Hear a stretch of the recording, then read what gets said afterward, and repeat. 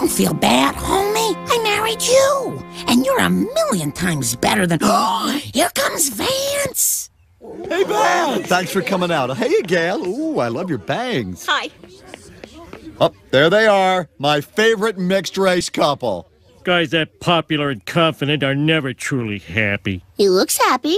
Tears of a clown. He's not crying, and he's not known for clowning. Exception that proves the rule. If losers like me know one thing, it's that deep down, winners like him are miserable. Watch, I'll prove it. Angry nut coming through!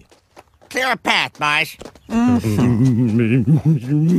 hey, Vance. Hey, Homer Simpson, how you been? Great, thanks. Listen, settle a bet. Behind that smile, you're dying, right? Behind this smile is a bigger smile trying to get out. Oh, oh, here it comes.